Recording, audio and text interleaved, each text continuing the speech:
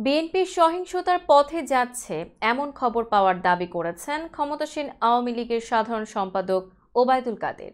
তিনি বলেছেন, তারা মনে করে অস্ত্র শক্তি হলো আসল শক্তি। যারা অস্ত্র দিয়ে ক্ষমতায় আসে, তাদের প্রতি জনগণের আস্থা থাকার কথা নয়। সীমান্তের এপার থেকে খবর পাচ্ছি, অস্ত্র কিনছে তারা। চাপাই নবাবগঞ্জ তাদের অস্ত্র সরবরাহের একটি ঘাঁটি।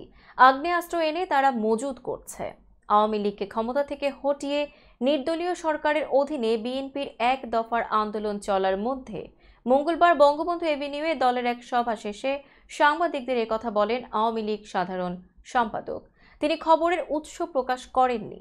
এদিকে ঢাকায় বৃহস্পতিবার বিএনপির সমাবেশের দিন আওয়ামী লীগের সহযোগী সংগঠনগুলো সমাবেশ ডাকায় মির্জা ফখরুল ইসলাম আলমগীর বলেছিলেন, ক্ষমতাসীনরা সংঘাত বাঁধানোর পায় তারা করছে।